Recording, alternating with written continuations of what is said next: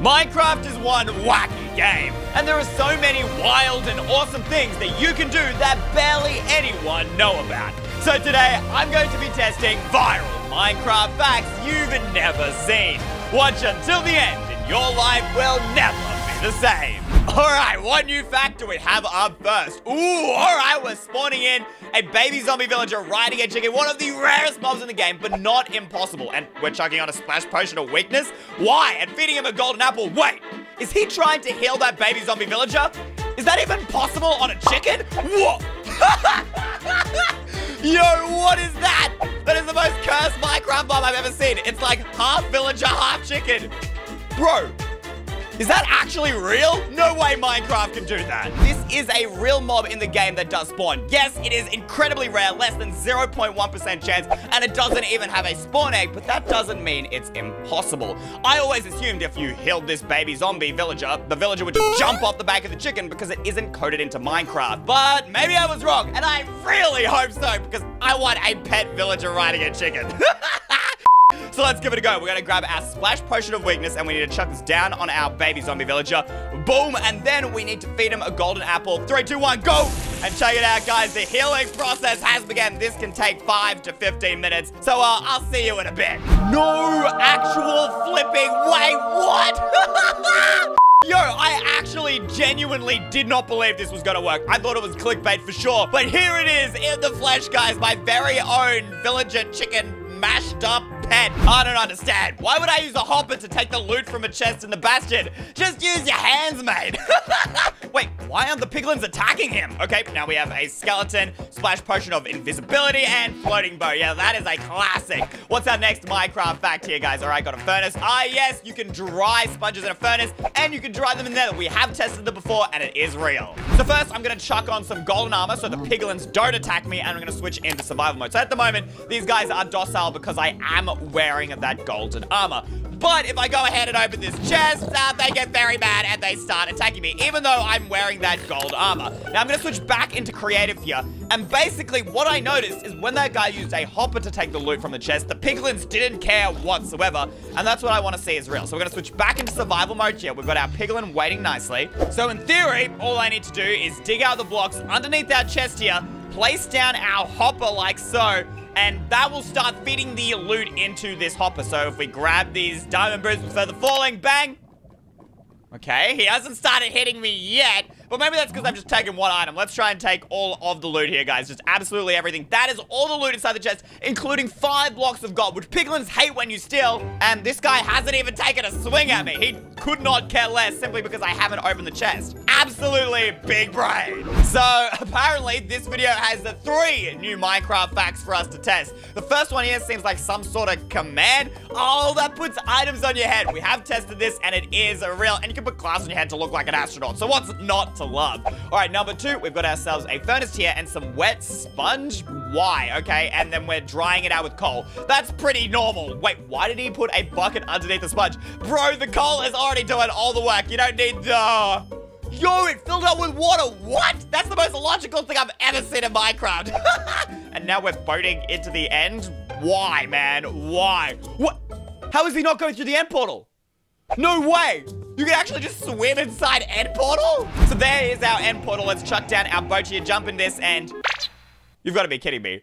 What? this looks so stupid, and I love it! You just wait for one of your friends to pass and they'll be like, hey mate, and then they'll be like, wait, what? How are you doing that?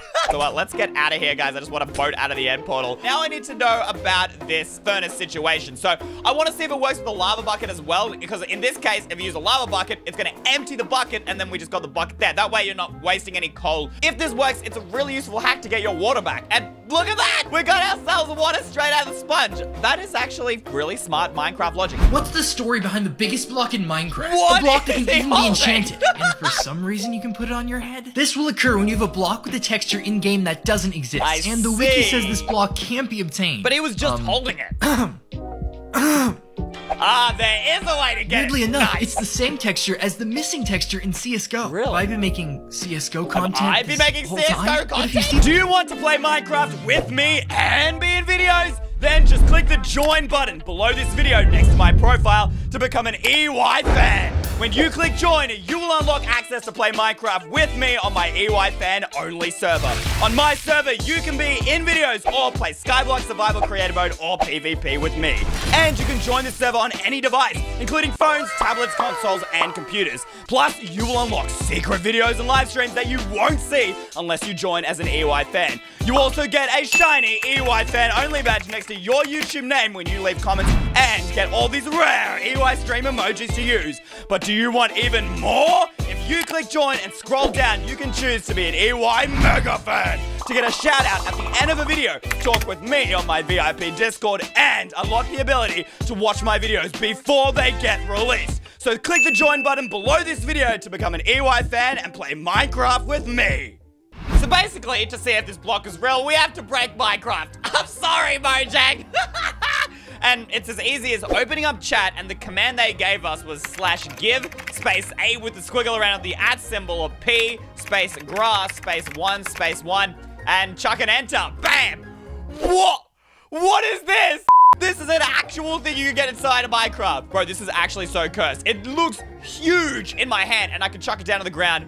Bro, what is that? It, I mean, it chucks down as if it's an entity, but it's a block. Can I place it down? Wh when I place it, it's literally just grass. 21 Minecraft facts you probably didn't know. In 60 All seconds, right, you can heal iron golems by right-clicking on them with the iron ingot. The Fact, music disc tested 11 will play for exactly 1 minute and 11 seconds. You can Fact. actually craft andesite with diorite and cobblestone. That's you can duplicate true. flowers with bone Ah, meal. yes, Baby pandas really have a 0.1% chance to drop a slime ball when Fact. they sneeze. Spiders will stop attacking you if you place Yeah, torches around yourself. really Foxes will sometimes get stuck in the ground when trying to kill a chicken. course, Skeletons so used to hold their bow like this back in the alpha and beta days of Minecraft. I the piglin that. brute drops the most amount of experience out of any non-boss Huh, mob in Minecraft. actually didn't know a that. piston can push a total of 12 blocks. Ah, Sheep can eat grass through slabs. You can Yeah, heal villagers by trading with them. You can Wait, use a name tag on the wither. It takes 13 seconds to fall through one cobweb. Mob spawners used to only show a pig on the spawner in the early days of Minecraft. Ghasts can reactivate your nether portal. The pig is the oldest Yo, existing so passive mob in. Minecraft. Pushing a cake with a piston will simply make it disappear. Oh, well, Mushrooms give off a light level of 1. There Oh, are yes, over 70 fact. unique mobs in Minecraft. Holy flip.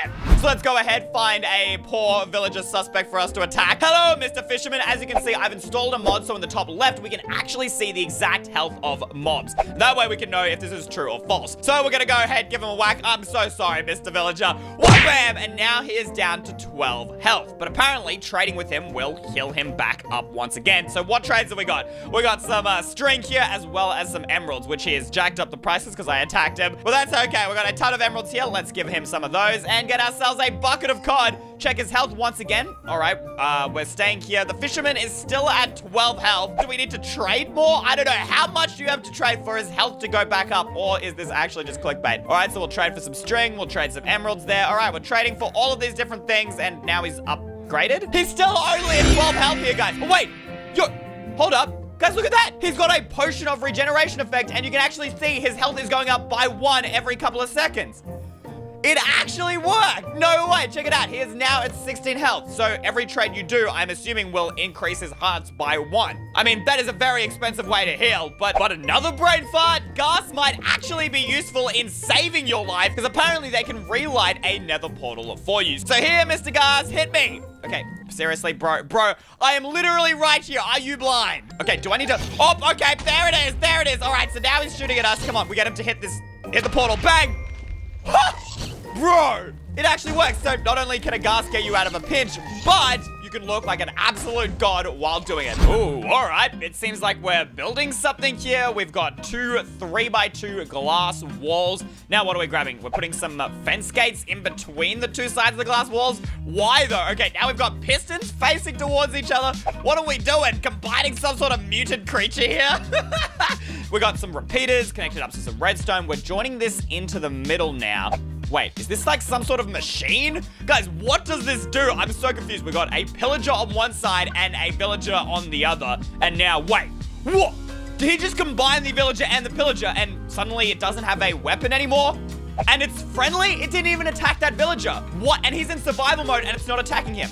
Bro, hit him, hit him. Okay, and still nothing. He's totally peaceful. That's so cool. But we have these two glass walls. Then we need to have fence gates in between them. Then we've got pistons facing towards these fence gates on either side. And these are going to push our villager and pillager together. I'm assuming they get joined at the fence gate area. I don't really understand the logics of this, guys, but I want to see it in motion. Actually, you know what? Part of me feels like this is a little sus because there aren't very many machines like this in Minecraft, but I still think it's worth a shot. So we're going to connect this up with the repeaters just like so, all the way up. Mm, the more I see this, the more I think this is going to be clickbait. But I'm just so excited, guys, that this could be a thing. All right, we've got a villager on one side, a pillager on the other. Let's go ahead put down our lever in three, two, one, bang! Okay, yeah, that, that didn't work. This guy clickbaited us! And if this isn't a mod, that means we should still be able to get one. And every clickbaiter's favorite weapon is a bunch of commands. Basically, they hit a command block underneath that lever with this command, which summons in a pillager without any items in his hand, and that is what makes him peaceful. He's not going to attack any players or any villagers. However, there is actually a way you can get this in survival without any commands whatsoever, and it's not with some wacky machine. All you actually need is a boat and grab a pillager spawn egg, and we can chuck him inside our boat. We're gonna trap him inside the boat. There we go. Now all you have to do is switch into survival and jump into that boat with him, and he's going to try and shoot you, but he actually won't be able to. He'll keep shooting arrows into the boat. It's some weird glitch. And eventually, if you wait long enough, that boat is going to break, and you'll have yourself your very own pet pillager. Did you know that snowballs, eggs, and ender pearls have the exactly same Wait, range? what? So all But I that need to do makes is no throw my snowball egg, Uh-huh. make sure it lands, and then next all I need to do is stay there, throw Bro, my ender pearl, I'm never going to miss an ender pearl ever again. every single time. That's genius! Well, it's genius unless it doesn't work, because otherwise it will most definitely kill you. So let's give it a go. Apparently, if we throw a snowball or an egg, it's all going to have the same range. So you can see that snowball just lands on the end island there. So in theory, if I throw an end pearl, I should survive. And we'll try an egg as well. And boom, yeah, see, that seems to land the same area, but the real test here is if it works uh, in survival mode. So let's switch it to survival. Now with our end pearl, we're probably gonna die. I can feel it. Three, two, one, bam! Here we go, and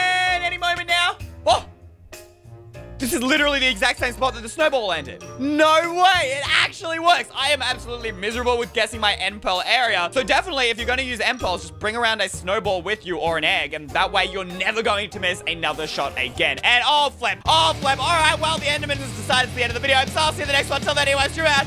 Bye!